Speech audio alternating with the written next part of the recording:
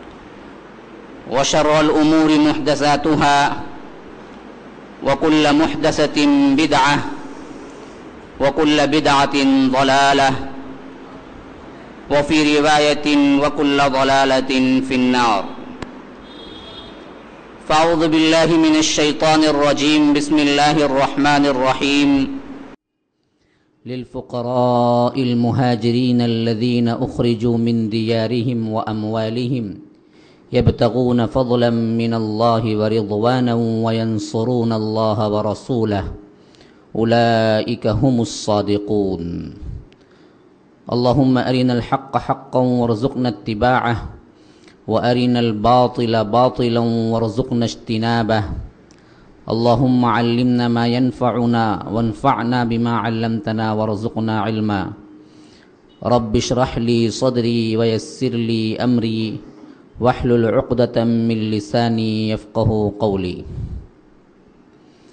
बरदरान इस्लाम वाजिबुलहतराम बुज़ुर्गों दोस्तों और अज़ीज़ साथियों लायक अहतराम माओं और बहनों अल्लाह तबारक व ताली सूर हशर की आठवीं आयत जो मैंने अभी तिलावत की है इरशाद बारी ताला है। लिलफ़ुक़राइलमुहाजरीन अल्लज़ीन उख़रिजू मिन दियारिहिम व अमवालिहिम। उन फ़ुक़रा व मसाकिन के लिए है। लिलफ़ुक़राइलमुहाजरीन उन मुहाजिर फ़ुक़रा के लिए। अल्लज़ीन उख़रिजू मिन व अमवालिहिम। वो लोग ऐसे हैं जो अल्लाह तबारक व ताला की राह में उनको घरों से निकाला गया, उनके मालों को छीन लिया गया। अल्लदीन उखरिजू मिन दियारिहिम व अमवालिहिम। यबतगून फ़ज़लम मिन अल्लाह व रिदवाना। वो निकल पड़े अल्लाह तबारक व ताला के फ़ज़ल को तलाश करते हुए। अल्लाह तबारक व ताला के मर्ज़ी रिजवान को तलाश करते हुए, रज़ा को तलाश करते हुए वयनसरून अल्लाह व रसूला ये वो लोग हैं जो अल्लाह और इसके रसूल की मदद के लिए कमर बस्ता हो गए। फरमाया कि उलाइकहुमुस्सादिकून यही वो लोग हैं जो असल में सादिक हैं। यही वो लोग हैं जो असल में सच्चे हैं। कौन? जो अल्लाह की राह में हिजरत किए। कैसे? फ़कीर बनकर, फ़ुकरा बनकर। हालत क्या हुई? घर भी छोड़ा, माल भी छोड़ा। लेकिन छोड़ने का मकसद क्या बना? अल्लाह तबारक व ताला की रज़ा। उसका फजल। करने का काम क्या हुआ? अल्लाह और इसके रसूल की मदद। अल्लाह को क्यों मदद की ज़रूरत है? अल्लाह को मदद की ज़रूरत है। मुसलमानों का यह अकीदा है कि अल्लाह को मदद की ज़रूरत है। नहीं नहीं नहीं। तो मतलब क्या है कि वयनसरून अल्लाह व रसूला अल्लाह की मदद का मतलब है अल्लाह के दीन की मदद करना। इन तंसुरुल्लाह यंसुरकुम तुम अगर अल्लाह की मदद करोगे तो अल्लाह तुम्हारी मदद करेगा। अल्लाह को काय को मदद की ज़रूरत है? अल्लाह के दीन की मदद करोगे तो अल्लाह तबारक व ताला तुम्हारे मसाइल को हल कर देगा। तुम उसके काम में लगोगे तो तुम्हारे काम अल्लाह तबारक व ताला कर देगा। जिसके काम को अल्लाह तबारक व ताला करने की ठान ले, अल्लाह तबारक व ताला ज़िम्मेदारी ले ले तो उसके काम हो जाते हैं, लेकिन खुद अपने कामों की ज़िम्मेदारी कोई लेता है, उसके काम पूरे नहीं होते। हम अब दुनिया के अंदर देखते हैं कि अपने कामों की ज़िम्मेदारी आप खुद उठाए हुए हैं। थोड़े से होते हैं, थोड़े से नहीं होते हैं। लेकिन जब अल्लाह के कामों के लिए तुम अपनी ज़िम्मेदारी उठाओगे तो तुम्हारे कामों की ज़िम्मेदारी अल्लाह तबारक व ताला उठा लेगा। इसीलिए फरमाया कि वयनसरून अल्लाह व रसूला फरमाया कि यही लोग हैं जो सच्चे हैं। अब जरा सोच के देखिए, हिजरत किसने की? घर बार किसने छोड़ा? अमवाल को किसने छोड़ा? किसने अल्लाह के रसूल की मदद की? कौन मक्का छोड़ के मदीना पहुँचे? कौन घरों को छोड़ दिया? कौन फकीर बने? किन के लिए अल्लाह तबारक व तालादिकून का खिताब दे रहा है? तमाम के तमाम सिफात कोई आम मोमिन के बारे में नहीं है। ये असहाब रसूलुल्लाह सल्लल्लाहु के शान में है। फरमाया कि लिल फुकरा, इन फकीरों के लिए, इन फुकरा के लिए है। क्या है? किसकी तरफ़ इशारा है कि इनके लिए ये सब कुछ है? क्या है दरअसल? मसला समझ लीजिए। अल्लाह के रसूल सल्लल्लाहु अलैहि वसल्लम सहाबा को लेके जंग करते हैं। जंग करते हैं तो माल गनीमत हाथ आता है। माल गनीमत भी हाथ आता है, शहादत भी होती है बहुत सो की। जिनकी शहादत नसीब नहीं है, फतह कामरानी के साथ वापस पलटते हैं तो उनको दुनिया भी मिलती है। कुल हल तरब बसो न बिना इल्ला इहदल जो भी निकलता है जिहाद के लिए उसको दो हुस्ना है। हुस्ना यईन क्या दो हुस्ना है? क्या दो खूबसूरतियाँ हैं? एक या तो उसको शहादत मिल जाएगी तो हुस्ना एक। एक या तो वह पलट के गाजी बन के पलटेगा तो उसको गाली गनीमत मिल जाएगा। किसी मामले में खसारा नहीं है। मेरी राह में निकलो। हम तुम्हें दोनों में से एक का तो वादा करते हैं। या तो शहादत, या तो माल गनीमत। अब ये देखिए ना जी, जंग करें, माल गनीमत हाथ आए तो इसमें का पांचवा हिस्सा अल्लाह के रसूल के लिए और अल्लाह तबारक व ताला के लिए, यानी उन लोगों के लिए जो मोहताज हैं। अल्लाह के रसूल जहाँ खर्चा करना चाहे वहाँ कर सकते हैं। वालमो अन्नमा गनिम तुम फीश इन फ़न्ना खुमसा। पांचवा हिस्सा। चार हिस्से क्या करते?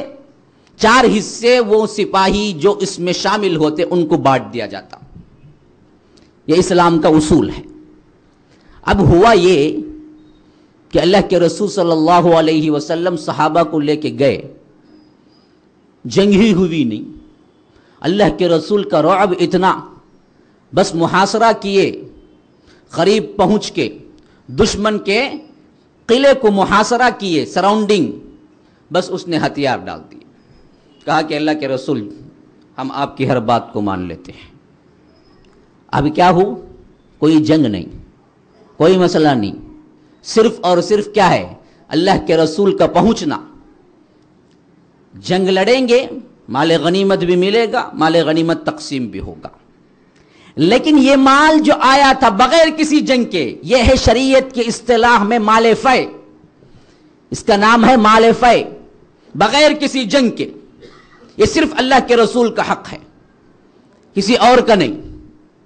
तो अल्लाह तबारक व ताला ने जब यह माल फ़य नाजिल हुआ, माल फ़य अता हुआ, माल गनीमत नहीं, बगैर किसी जंग के माल, मा अफा अल्लाह अला रसूली माल फ़य सुरह हशर में तफसीलात हैं।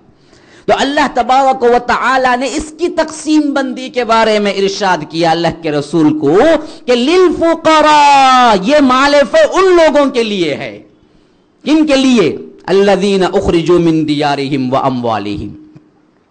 जो अल्लाह के रसूल सब कुछ छोड़ छाड़ के पहुँच गए आपके एक फरमान पर। घर मक्के में, माल मक्के में, यहाँ तन ढाकने के लिए कपड़ा नहीं है। ऐसे जो आए और नीयत क्या? माल गनीमत मिल जाएगा, बाद में अता कर देंगे जागीर दें बाद में अता कर देंगे ज़मीनें। ये उनकी नीयत थी नहीं नहीं नहीं। अल्लाह तबारक व ताला ही के लिए आए। बस। ये बतगून अल्लाह व रिदवाना। तो अल्लाह तबारक व किस तरह देखिए असहाब रसूलुल्लाह सल्लल्लाहु अलैहि वसल्लम की दुनिया को भी महफूज कर रहा है हाँ। आम ख्याल है हमारा कि दीन के कामों में लगेंगे तो दुनिया हमारी बर्बाद हो जाएगी। उमूमन हम सुनते भी हैं कि दुनिया तो बर्बाद कर लो, लेकिन आखिरत बना लो। एक नज़रिए से भाई सही है, लेकिन खुदा की कसम याद रख लीजिए, जो दीन के कामों में लगता है, कभी उसकी दुनिया बर्बाद नहीं, उसकी हिफाजत की ज़िम्मेदारी तो अल्लाह ले लेता है। आप अपनी दुनिया उस अच्छी वैसे अच्छी बना नहीं सकते। जो अल्लाह तबारक व ताला के कामों के लिए वफ होने के बाद आपकी दुनिया भी अल्लाह बनाती ये असहाब अलैहि वसल्लम कैसे कैसे अल्लाह तबारक व ताला ने उन्हें इनामात से नवाजा है, पता है? अबू हुरैरा कहते हैं कि अपनी ज़िंदगी में मैं भूख की वजह से भूख की खाना नहीं, कोई और वसाइल नहीं खाने के लिए, भाई कुछ नज़दीक आ जाए, आने वालों को तकलीफ़ ना हो।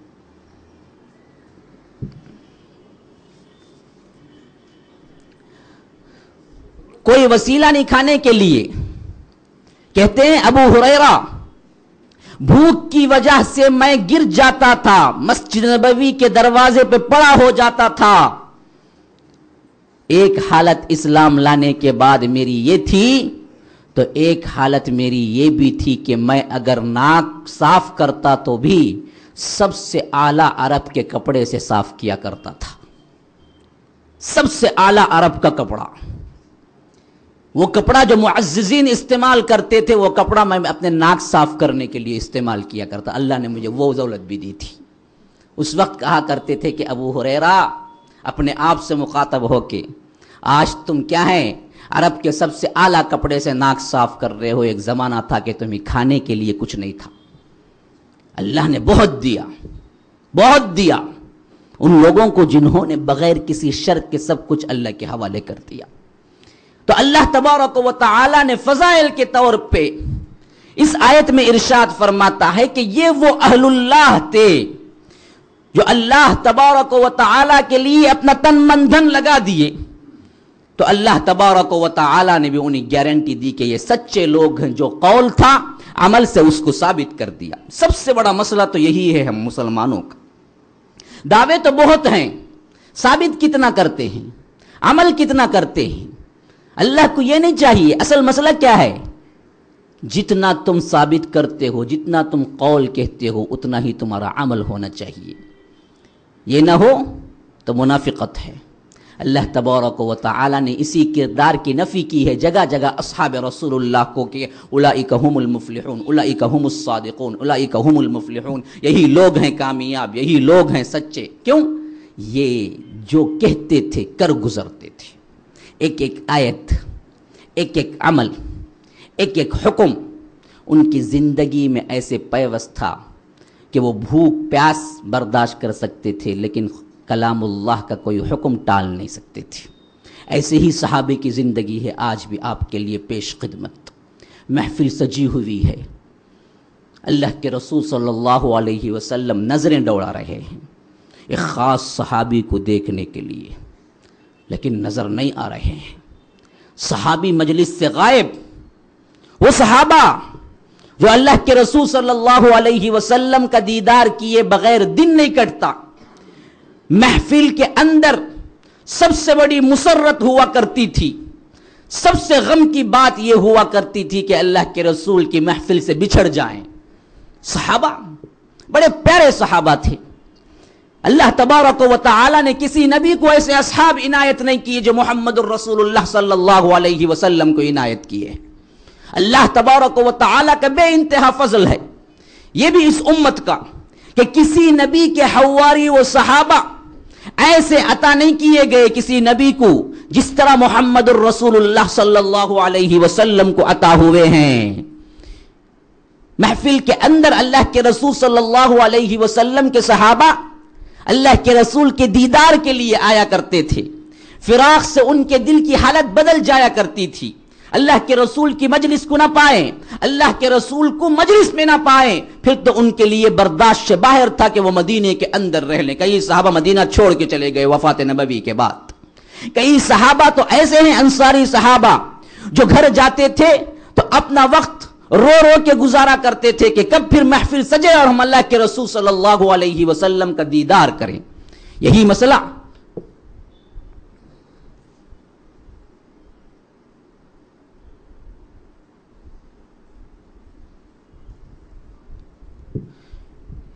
यही मसला। एक सहाबी का ऐसे बन गया कि अल्लाह के रसूल सल्लल्लाहु अलैहि वसल्लम आज तो दुनिया में नज़र आ जा रहे हैं। कब चाहते हैं हम आके देख लेते हैं। लेकिन कल क्या होगा? जब अल्लाह तबारक व ताला अल्लाह के रसूल को जन्नत के आला दर्जात में रख देगा। अगर हम अपने गुनाहों की पादाश में कहीं दूसरी जगह चले गए, नहीं, अल्लाह तबारक व ताला अपने आमाल ही को कबूल करके अल्लाह तबारक व ताला जन्नत भी भेज दे। तो कैसे अल्लाह के रसूल का दीदार हो, अल्लाह के रसूल तो आला मुकाम पे होंगे, हम तो क्या हैं, बिल्कुल अदना मुकाम पे होंगे। ऐसी गम की हालत तारी हुई कि हम हशर के मैदान में, फिर इसके बाद जन्नत के माहौल में अल्लाह के रसूल सल्लल्लाहु अलैहि वसल्लम को देख ना पाएँगे। रोते रहे रोते रहे, सोचते रहे सोचते रहे हत्या कि सुबह सवेरे जब आके मुलाकात की अंसारी साहबी तो आँखें सूची हुई। नींद न आए तो क्या है, चेहरे से ज़ाहिर हो जाता है। अल्लाह के रसूल ने पूछा कि क्यों यह हालत बना रखी है? फरमाया कि एक ख्याल अल्लाह के रसूल। क्या ख्याल है? कहा कि देखिए, दुनिया में तो हम जब चाहते हैं, जब भी दिल तड़पता है, हम आके आपका दीदार कर लेते हैं। लेकिन मैं सोच रहा हूँ, कल अगर अल्लाह तबारक व ताला हमें जन्नत भी पहुँचा दे तो आपका मर्तबा तो बहुत आला होगा, हमारा मर्तबा तो बहुत अदना होगा। हम कैसे आपको देख पाएँगे? आपका ना देखना तो हमारे लिए सबसे बड़ा क्या है बाई से गम अंदोह होगा। अल्लाह के रसूल सल्लल्लाहु अलैहि वसल्लम ये मोहब्बत देख के मुस्कुरा पड़े। सोच ही रहे थे कि क्या कहें। अल्लाह तबारक व ताला सातों आसमानों पर से वही नासिल करती। युतल्लाह व रसूल फ़लाइक मल्लदीन अनअमल्लाहुम मिनन्नबिय्यीन वस्सिद्दीक़ीन वशुहदा वस्सालिहीन व हसन उलाइक रफ़ीक़ा। जो अल्लाह और इसके रसूल की इताअत करेंगे। अल्लाह तबारक व ताला उन्हें साथ शामिल कर देगा अम्बिया के साथ। रसूल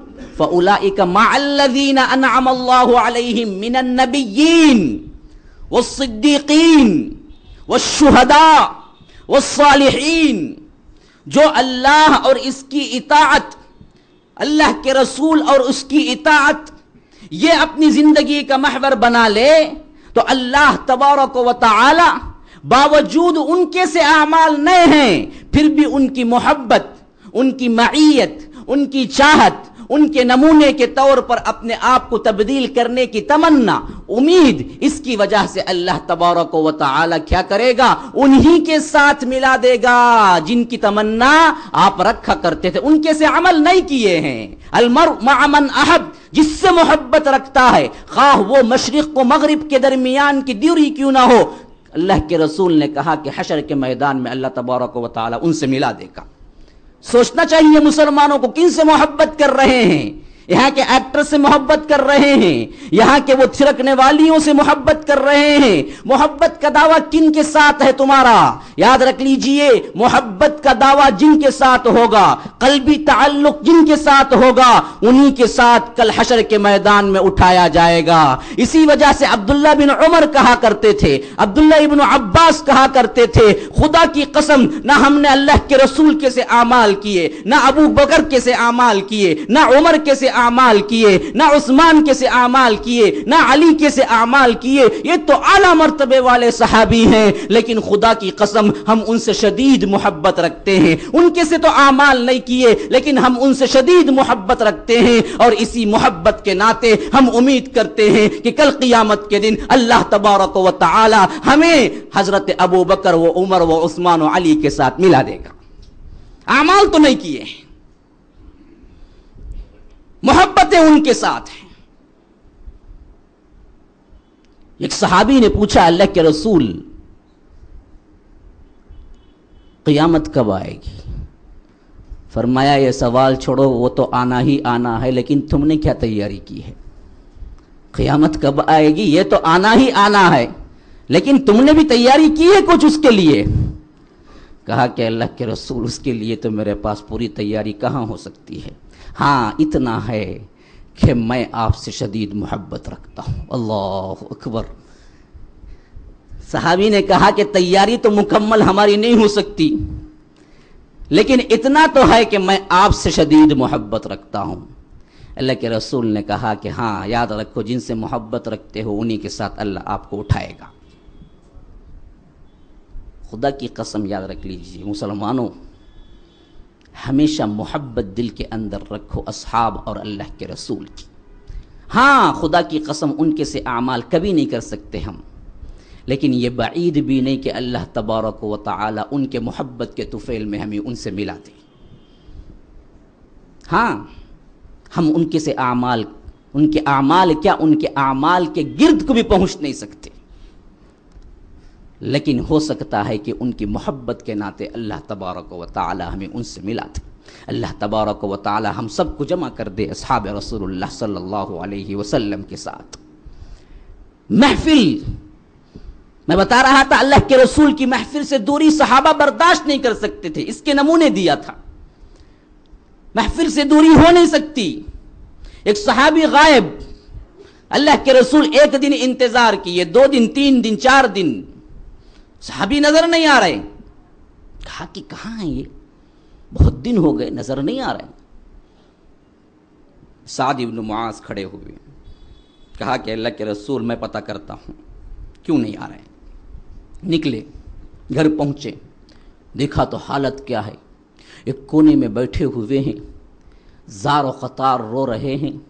हालत बिल्कुल ही परागंदा है। ऐसी हालत है कि बहुत बड़ा गम इन पे टूट पड़ा है। पूछा कि क्या हुआ आपको? आप तो अच्छे से आ रहे थे मजलिस में और हालत ये बना रखी है, क्या गम है आपको?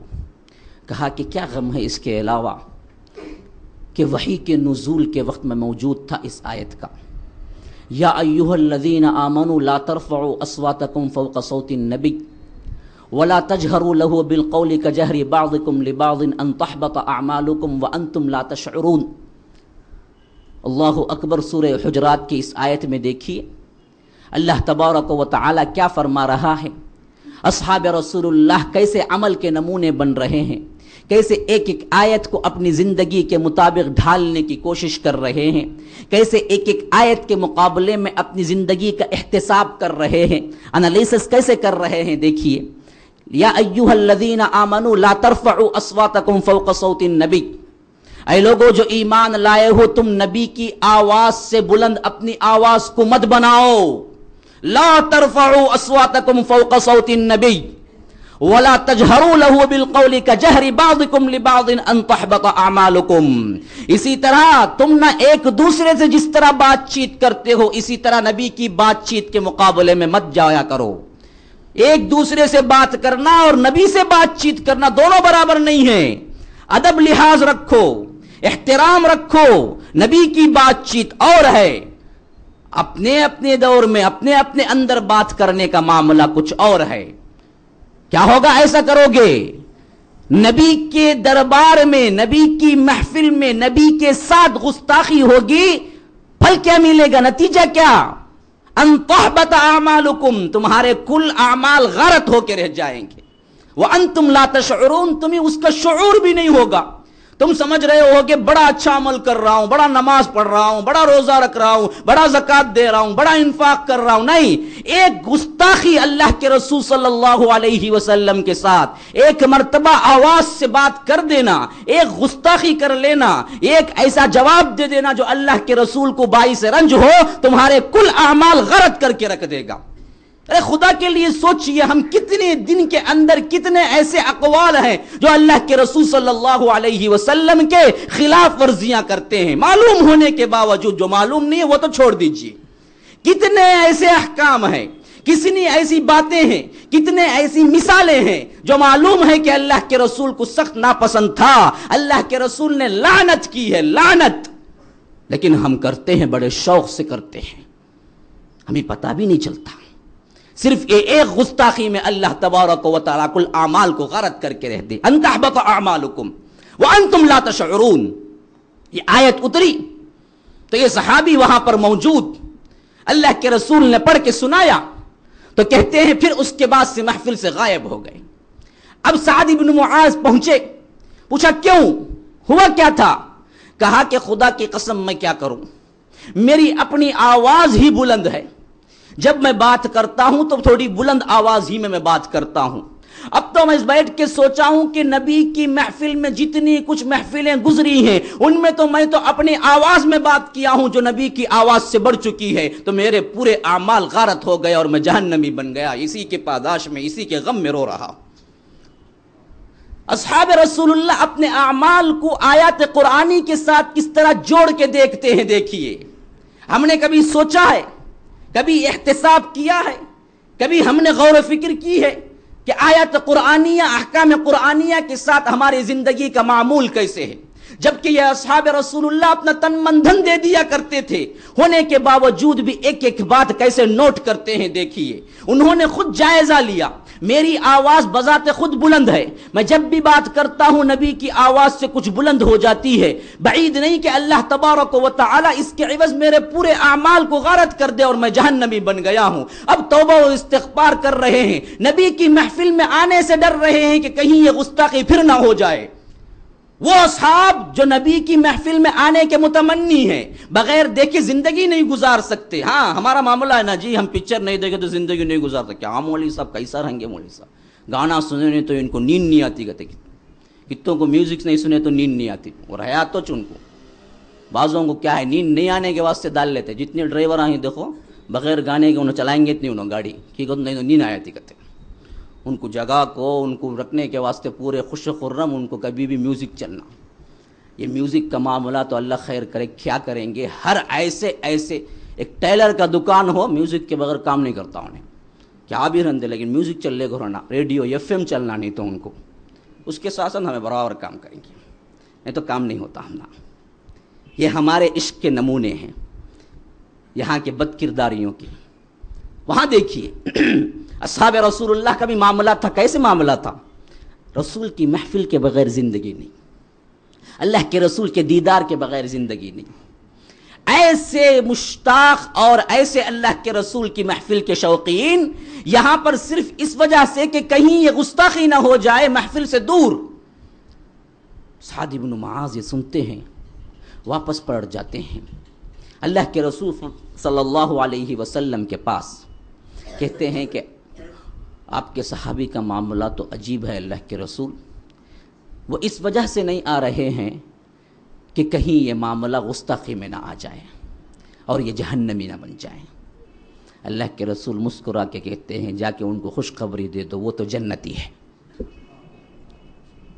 हाँ कैसे कैसे खुशखबरियाँ पाने वाले हैं असहाब रसूलुल्लाह? कहते हैं कि जाओ, जाके कह दो कोई डरने की ज़रूरत नहीं। वो तो जन्नती है।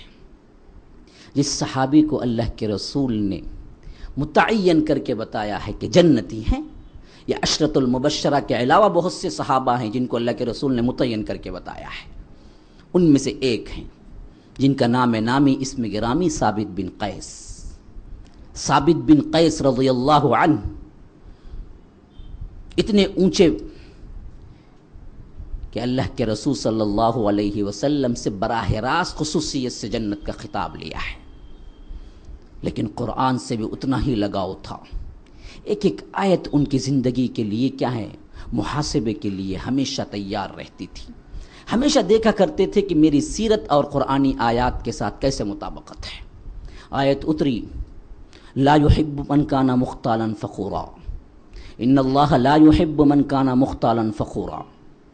अल्लाह तबारक व ताली किसी मोहब्बत, किसी से ऐसे शख्स से मोहब्बत नहीं करता जो तकबर रखता हो, जो फ़ख्र इख्तियार करता हो, जो नामो नमूद चाहता हो, जो तारीफ़ चाहता हो, जो काम नहीं किया हो, उस काम की तारीफ़ चाहता हो। ये तमाम माने हैं इसके अंदर।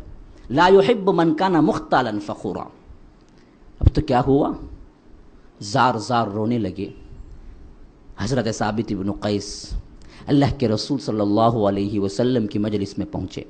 कहा कि अल्लाह के रसूल, मुझे भी कई मरतबा ऐसा इत्तेफाक हुआ है कि मैं किसी काम को किया हूँ और दिल चाहा है कि मेरी तारीफ़ की जाए। अल्लाह अकबर सबको होता है। कौन इससे बच सकता है? ये मामला तो हर एक का है कि जब भी कोई काम करता है कि खुद ब खुद उसके अंदर ये चीज़ पैदा हो जाती है कि तारीफ़ करे कोई। कैसे कैसे सोच है देखिए यहाँ तो दरअसल उन मुनाफिकीन और कुफ्फार के बारे में बतलाया गया, जो फकर और किब्र के साथ उन्होंने बदर के मैदान में जंग का मुकाबला करने के लिए निकले थे। उस सिलसिले में यह आयत उतरी है। लेकिन ये सहाबी अपने ऊपर मुंतबिक करते हुए डर रहे हैं। और अल्लाह के रसूल सल्लल्लाहु अलैहि वसल्लम से फरमाया कि अल्लाह के रसूल, मुझे भी इसका इत्तेफाक हुआ है कि कभी कभी मेरे दिल के अंदर भी ये ख्वाहिश हुई है कि किसी काम पर मुझे तारीफ़ कर दी जाए। कहीं मैं इनके अंदर तो नहीं आ रहा हूँ, कहीं अल्लाह तबारक व ताला मुझसे तो मोहब्बत नहीं कर रहा है। इस मामले में मेरे ऊपर तो मुंतबिक नहीं हो रहा है। अल्लाह के रसूल सल्लल्लाहु अलैहि वसल्लम ने थपकी दी थपकी दी थपकी दी, कहा खुश हो जाओ, खुश हो जाओ साबित इब्न कैस। पता है तुम्हें? तुम जो चाहते हो तारीफ़। अल्लाह अकबर, कितना प्यारा कौल है, कितनी बुलंद मर्तबे वाली शख्सियत है शख्सियत। अल्लाह के रसूल सल्लल्लाहु अलैहि वसल्लम कहते हैं कि साबित इब्न कैस, तुम जो तारीफ़ चाहते हो, उस तारीफ़ के साथ अल्लाह तबारक व ताला तुमसे मोहब्बत करे। और अल्लाह तबारक व तुमसे इतनी मोहब्बत करे, इतनी मोहब्बत करे कि हत्ता कि तुम्हें शहादत का मर्तबा दे जाए और शहादत के बाद तुम सीधे जन्नत को चले जाओ तो राज़ी हो। तुम जिस तरह चाहते हो अपने दिल के अंदर वो काम भी हो जाए तुम्हारे लिए। तुम्हें अल्लाह शहादत भी दे दे। शहादत के बाद तुम्हें जन्नत भी दे दे। क्या तुम अल्लाह से इस मामले में राज़ी हो? डरने की कोई ज़रूरत नहीं। कहा कि अल्लाह के रसूल, इससे ज़्यादा मुझे और क्या चाहिए? कहा कि तुम ऐसे ही हो। तुम्हारे लिए ये तारीफें भी होंगी जिन दुनिया के अंदर। अल्लाह के रसूल ने गारंटी दी है। तुम्हारी तारीफें होंगी। तुम्हें आगे चल के शहादत नसीब होगी। और शहादत के बाद तुम्हें जन्नत भी मिलेगी। तुम राज़ी हो इस पे? कहा कि अल्लाह के रसूल इससे बढ़ के क्या है? फरमाया कि तुम उन्हीं में से हो। अल्लाह के रसूल सल्लल्लाहु अलैहि वसल्लम की एक एक बात ये तो पेशन गोइयों के अंदर आते हैं।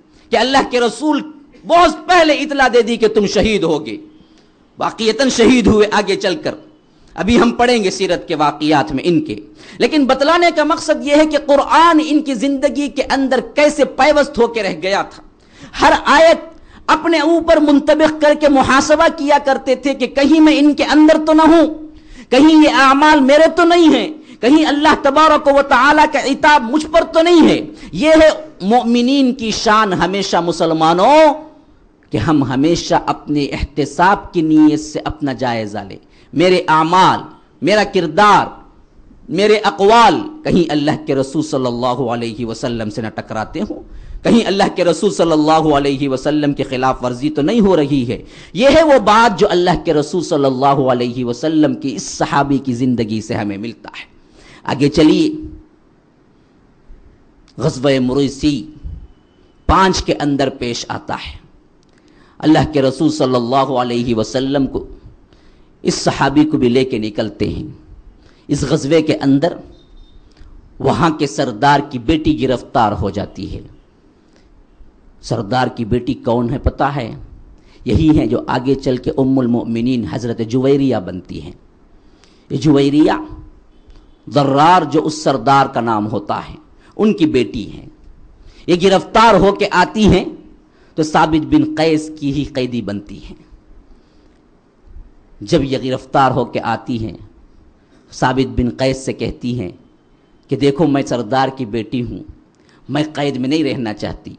तो साबित बिन कैस कहते हैं कि हाँ तुम अगर मुआवजा दे दोगे तो मैं छोड़ दूँगा। तो ये अल्लाह के रसूल सल्लल्लाहु अलैहि वसल्लम के पास पहुँचती हैं।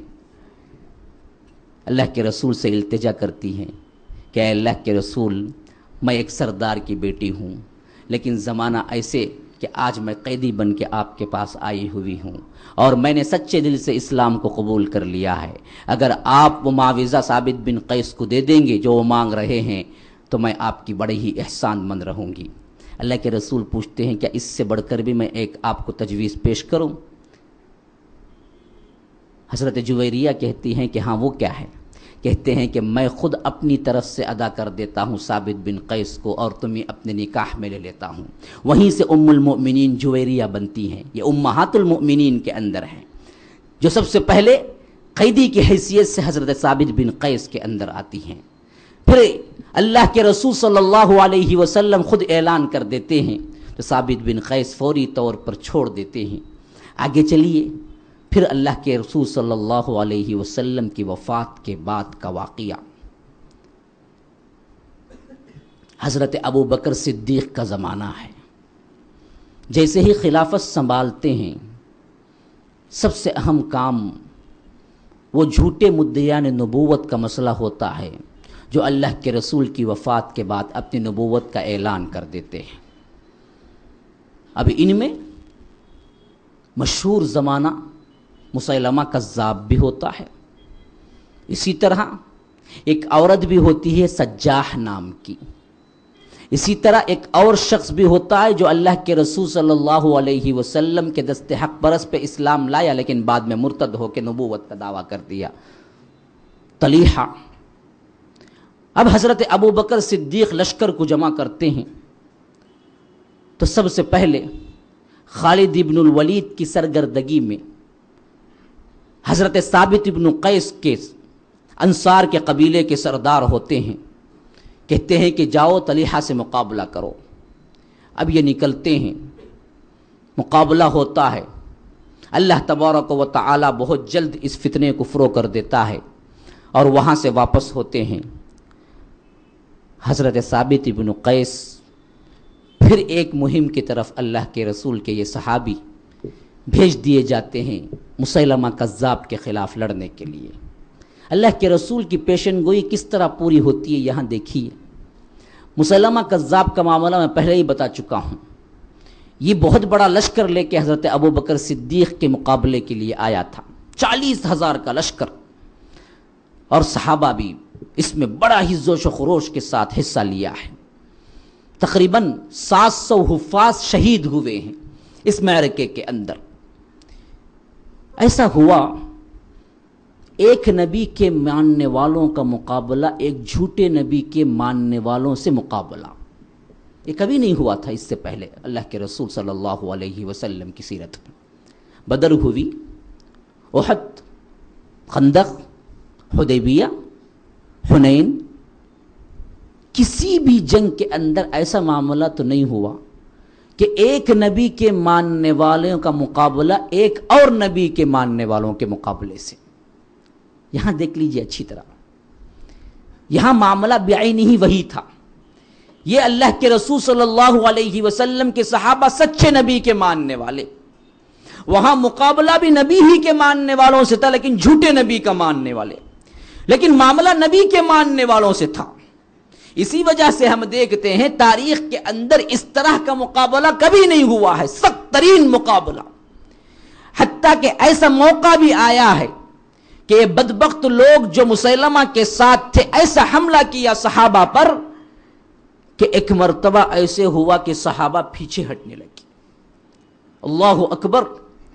बदर हुनैन के वो सहाबा जिन्होंने मुशरकिन के लिए सबसे बड़ा क्या है मसला, सबसे बड़ा नाकों, चने चबवा दिए थे, यहाँ मामला यह हुआ कि एक मरतबा सहाबा भी पीछे हटने लगे। हज़रत साबित इब्न कैस के लिए यह बड़े ही गम की बात थी। वह उठे और तकरीर की है उस वक्त, और ये बहुत बड़े मुकर्र हैं। खतीब अलैहि वसल्लम है। हाँ कौन है ये? खतीब अलैहि वसल्लम। अल्लाह के रसूल सल्लल्लाहु अलैहि वसल्लम के दौर के खतीब हैं। जहाँ कहीं खुतबा देना होता, जहाँ कहीं बुलंद आवाज़ से कोई तकरीर करनी होती, अल्लाह के रसूल सल्लल्लाहु अलैहि वसल्लम साबित इब्न कैस को बुलाते। और ये साबित इब्न कैस ही वो हैं। जब बनु तमीम के कबीले के लोग आए नौ हिजरी के अंदर, नौ हिजरी के अंदर, एक काफिला आया। ये आमुल वफूद था, वफूद का बड़े बड़े जमातों का इस साल में वरूद हुआ है। बहुत से आए अल्लाह के रसूल के पास और इस्लाम कबूल किया है। तो एक कबीला आया, कहा कि अल्लाह के रसूल, देखो, इस्लाम बाद में लाएँगे। सबसे पहले हम आपके साथ मुकाबला करेंगे। लेकिन रसूल ने पूछा कि कितने मुकाबला करोगे? कहने लगे कि देखो, हम शेर व शायरी में बहुत ही बेहतरीन अंदाज में शेर व शायरी करते हैं। इसी तरह हमारा नसब क्या है? हमारे तकारीर बहुत बुलंद हैं। तो इसका मुकाबला करोगे। फिर इसके बाद हम इस्लाम लाएँगे। अल्लाह के रसूल ने कहा कि मैं फ़ख्र जताने के लिए, शेर कहने के लिए नहीं आया हूँ। मेरा काम न फ़ख्र जताना है, न शेर कहना है। लेकिन तुम अगर मुकाबले के लिए बुलाते हो तो इसमें भी कम नहीं हो। हाँ मुकाबले के लिए बुला रहे हो तुम। इसमें भी मैं कम नहीं हूँ। बुलाओ, तुम भी मजलिस सजाओ, मैं भी मजलिस सजाता हूँ। उन्होंने मस्जिद नबी के अंदर मजलिस सजी है। अकरा इब्न हाबिस बाद में सहाबी बने हैं, लेकिन इस वक्त वो गुरोह के लीडर हैं। उन्होंने कहा कि अब शुरू कीजिए बात को। कहा कि तुम पहले अपने खतीब को बुलाओ। उनकी तरफ़ से एक खतीब आया। बड़ा ही बेहतरीन अंदाज का, बड़ा ही बेहतरीन बात करने वाला। फसाहत बलागत के दरिया बहा दिए। ऐसे ही मौके पे अल्लाह के रसूल ने फरमाया कि इन मिनल बयान लहरा वाक़ता बास बयान जादू होता है। यानी ऐसा होता है कि सुनने वाले पे महवियत तारी कर देता है, बास बयान होते हैं। तो उसने भी क्या है, बड़ा ही बेहतरीन खुतबा दिया। अपना नसब झाड़ा, अपने बारे में बड़े बड़े फ़ख्र की बातें कही। हमारे पास खजाने हैं, सोने चांदी हैं, हम यूँ लुटाते हैं, हम यूँ करते हैं, यूँ करते हैं।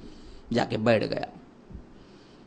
कहा कि अल्लाह के रसूल आपका भी कोई ख़तीब आए, हम देखते हैं कौन आता है। हमारे जवाब दे, हमारा तकरीर का तोड़ करें। अल्लाह के रसूल ने यूँ नज़र उठा के कहा कि साबित इब्न कैस जाओ, तुम मुकाबला करो। साबित इब्न कैस आगे बढ़े। सबसे पहले अल्लाह की हमद की। याद रख लीजिए, ये अल्लाह की हमद करना है ना। ऐसी बात है, ऐसी फसाहत बलागत के अल्फाज हैं जो हम आज रोज सुनते हैं।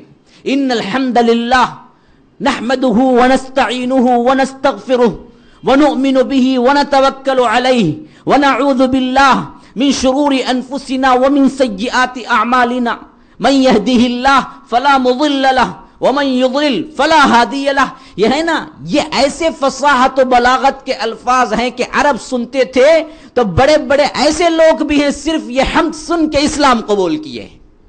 हमें पता नहीं है इसकी चाशनी, हमें मालूम नहीं है। ऐसे अल्फाज हैं। और सबसे बड़ी फसाहत बलागत की बात क्या है? अल्लाह तबारक व ताला की हमद है। देखिए ना, कलाम का मजमुआ, फसाहत बलागत का मजमुआ, अल्लाह का कलाम कहाँ से शुरू हो रहा है? अल्हम्दुलिल्लाह रब्बिल आलमीन। ये हमद है ना, इतना बुलंद लफ्ज है, इतना बुलंद है, इतना बुलंद।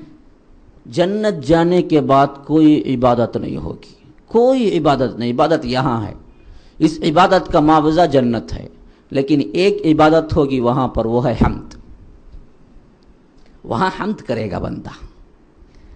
अल्लाह की हमद करेगा। अल्लाह का शुक्र बजा लाएगा। यह हमद इतना बुलंद मामला है। तो साबित बिन कैस सबसे पहले अल्लाह की हमद करते हैं। कहते हैं कि अल्लाह तबारक व ताला ने हमें जाहिलियत से निकाला। अल्लाह के रसूल सल्लल्लाहु अलैहि वसल्लम के सहाबा बनाया। अल्लाह के रसूल सल्लल्लाहु अलैहि वसल्लम के वजरा बनाया। हम इसी पे सबसे बड़ा फख्र करते हैं। और क्या फख्र चाहिए हमें तुम कहते हो, हमारे पास सोने हैं, चांदी हैं, खजाने हैं, हम यूँ इन्फाक करते हैं, यूँ लुटाते हैं, यूँ गरीबों की मदद करते हैं। तुम्हें इतनी बातें कही, लेकिन हमारे लिए फकर की एक ही बात है। क्या बात है? अल्लाह के रसूल के हम सहाबा हैं। इसी पे सबसे बड़ा फकर है कि अल्लाह के रसूल के मददगार हम बना दिए गए। इससे बड़ा और कोई फकर की बात नहीं है। ये कहे, जाके बैठ गए। फिर कहा अच्छा हम शायर को पेश करते हैं। उनकी तरफ़ से शायर आया, बड़े बलीग पैराए में अशार कहे, चला गया, जाके बैठ गया। अल्लाह के रसूल ने अपनी महफिल से खिताब किया हस्सान बिन साबित को। कहा कि, हस्सान, आगे आओ, शेर कहो। इन्हीं के बारे में अल्लाह के रसूल ने फरमाया कि जब ये शेर कहने के लिए सीट पे बैठते ना, जिब्राइल मदद के लिए आ जाते हैं मस्जिद नबी के अंदर। ये हस्सान बिन साबित ऐसे शायर हैं, इनके लिए खसूसी सीट मजलिस में बैठी बिठाई जाती अल्लाह के रसूल की मजलिस में, खसूसी सीट। जब बैठते तो अल्लाह के रसूल कहते कि अब क्या है, जिब्राइल मदद के लिए हैं हस्सान के।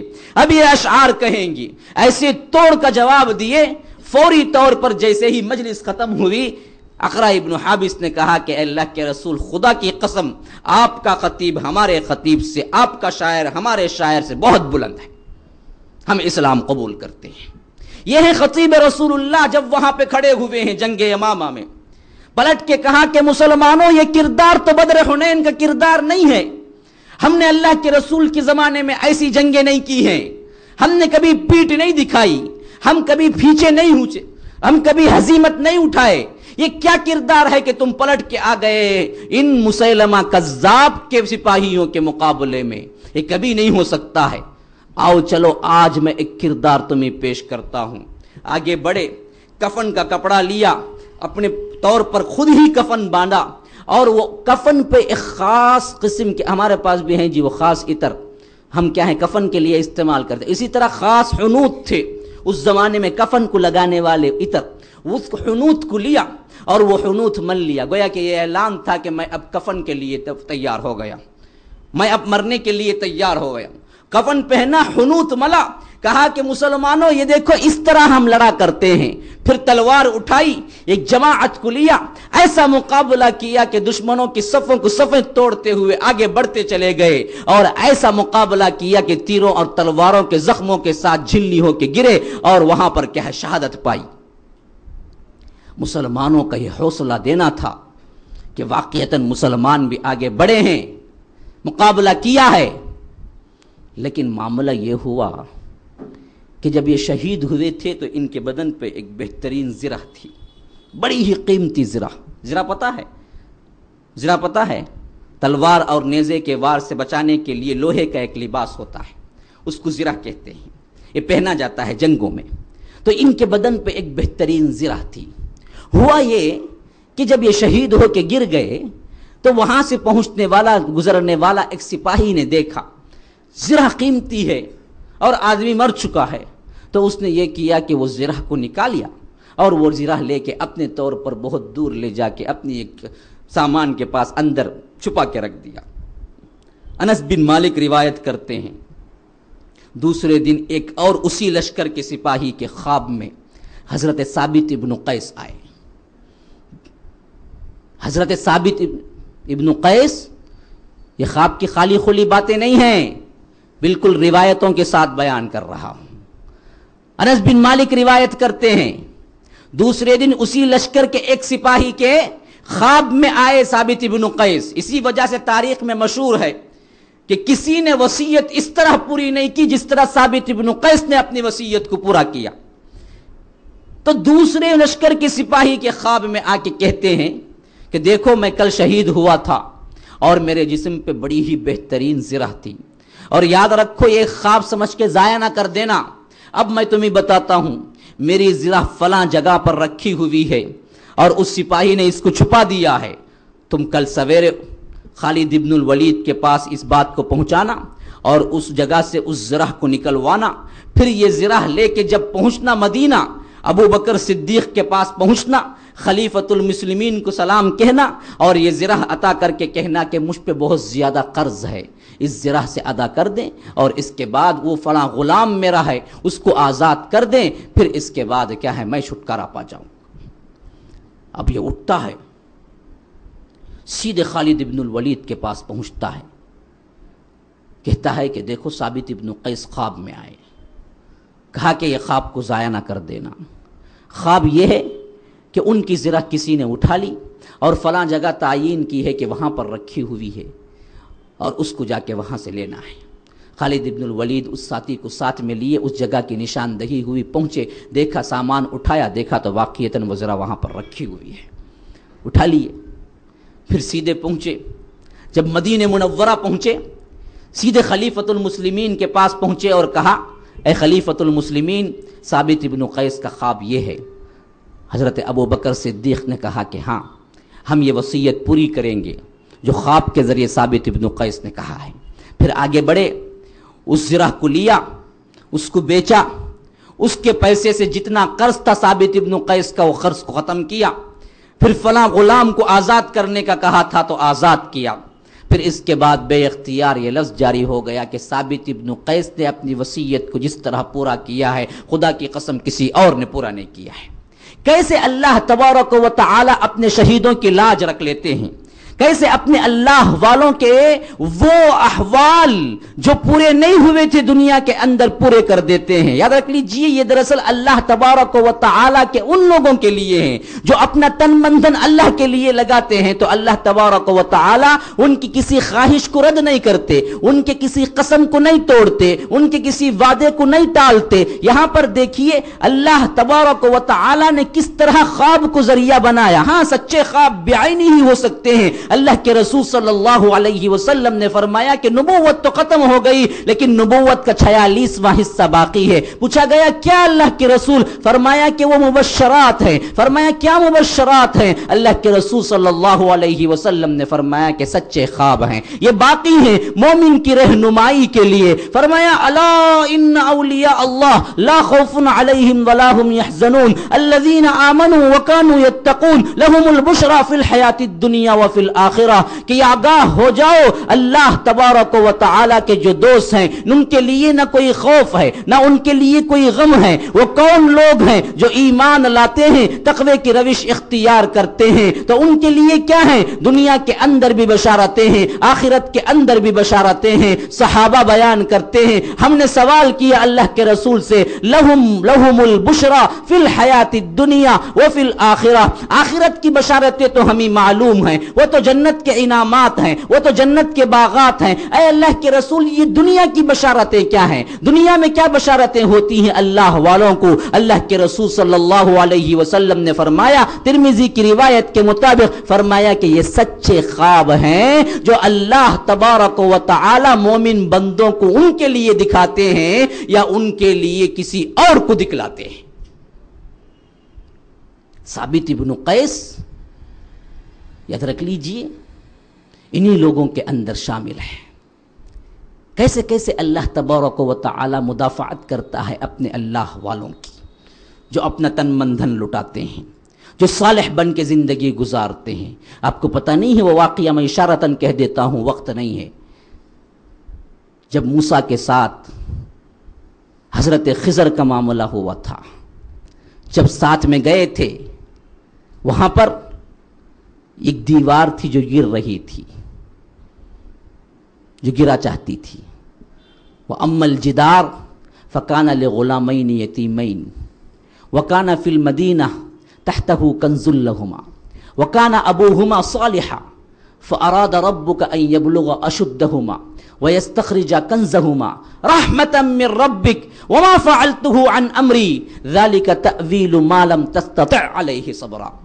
हज़रत खिजर के साथ जब मूसा अलैहिस्सलाम का वो मशहूर जमाना सफ़र हुआ है, जिसके अंदर उन्होंने ये बात ताकीदन लगा दी थी, शर्त कि आप मुझसे सवाल नहीं करेंगे। तो इनमें से तीनवा जो सवाल से फिराक का सबब बना, वो क्या है कि एक दीवार गिरा चाहती थी। इन्होंने एक बस्ती में दाखिला लिया, भूख से निडाल थे, खाने के लिए कुछ नहीं था। उन्होंने मेहमान नवाजी का मुतालबा किया हज़रत मूसा ने, लेकिन बदबक कौम थी, उन्होंने इनकार कर दिया। लेकिन इसी बस्ती के अंदर एक दीवार थी जो गिरा चाहती थी। तो हज़रत खज़र ने कहा, हज़रत मूसा से कि आइए पानी भी लाइए और क्या है, मिट्टी भी लाइए, हम इस दीवार को बना देंगे। अब तो हज़रत मूसा का जब टूट गया, कहा कि ऐसी गलीज बस्ती कि लोगों ने खाना नहीं दिया हमें, मेहमान नवाजी नहीं की, आप हैं कि उनकी दीवारें बना रहे हैं? कहा कि देखो, सवाल करना नहीं था शर्त में। तीन मरतबा भी हो चुका है, अब आप अलग, हम अलग। मामला यहाँ से ख़त्म। लेकिन अब मैं बताता हूँ तावील। ये कह के हज़रत खज़र बताने लगी, कहा कि दरअसल ये दीवार क्यों उठाना चाहता था? वह अम्मल ग़ुलाम, व अम्मल जिदार फ़कान ग़ुलामैन यतीमैन। असल में ये दीवार थी दो यतीम छोटे छोटे बच्चों की। ये दीवार किन के लिए थी? दो छोटे छोटे यतीम बच्चों के लिए। क्या था? इस दीवार के नीचे उनके बाप का ख़जाना था। तहतहु कंजुल्लहुमा वकान अबू हुमा सालिहा। और उनका जो बाप था, वो सालेह था, मर चुका था, यतीम बच्चे। सालेह बाप के किस तरह अल्लाह तबारक व ताला खजाने की हिफाजत कर रहा है, खिजर को भेजकर। देखिए यहाँ पर। बाप मर गया, खजाना दफन। दीवार खड़ी हुई थी। लोग नहीं निकाल सकते थे, लेकिन जमाना गुजरा, दीवार गिर गई। अब तो क्या है, खजाना निकलने वाला था। कोई भी देख लेता, खोद लेता, निकाल लेता, लेके निकल जाता। अल्लाह तबारक व खिजर को ऑर्डर दिए हैं। जाओ जाके दीवार बनाओ। एक सबसे मुमताज़ पैगंबर, एक दूसरा आला तरीन पैगंबर या फरिश्ता। खिजर और मूसा दो मिलके मैमार बन के दीवार बना रहे हैं। किन की एक सालेह एक सालेह कौन था वो एक सालेह मर्द अपने बच्चों के लिए जो खजाना दफन करके गया था, उसकी हिफाजत के लिए अल्लाह तबारक व खिजर और मूसा को भेज के कहते हैं कि तुम दीवार बनाओ। सिर्फ़ वजह क्या है? वो सालह था। वकाना अबू हुमा सालिहा। अल्लाह वालों के या अल्लाह के लिए जो अपना तन बंधन लगा देते हैं, उनके लिए अल्लाह काफ़ी है कि कैसी हिफाजत कर रहा है, देखिए। चला गया, मर गया है, उनके बच्चों की हिफाजत कैसे कर रहा है, देखिए। उनके माल की हिफाजत कैसे कर रहा है, देखिए। क्या एक किरदार, ये नमूने, ये वाकियात हमें नहीं अपील करते, नहीं बुलाते कि हम अल्लाह के लिए हो जाएँ। अल्लाह हमारे लिए काफ़ी है। अलैहिस्सल्लाहु बिकाफिन। अब्दा, क्या अल्लाह तबारक व तआला तुम लोगों के लिए काफ़ी नहीं है कहीं दूसरे के लिए क्यों जाते हो? किसी दूसरे के दर को क्यों जाते हो? किसी दूसरे के लिए अपने दिल में जगह क्यों देते हो? अल्लाह के लिए बन जाओ। अल्लाह तुम्हारे लिए काफ़ी होगा। हदा सल्लल्लाहु वसल्लम अला नबीना मोहम्मद। असअलुल्लाह ली व लकुम व लिसाइलिल मुस्लिमीन मिन कुल्लि ज़ंबिन फस्तगफिरु इन्नहु हुवल हमला दुश्मनों को मौत का पैगाम था।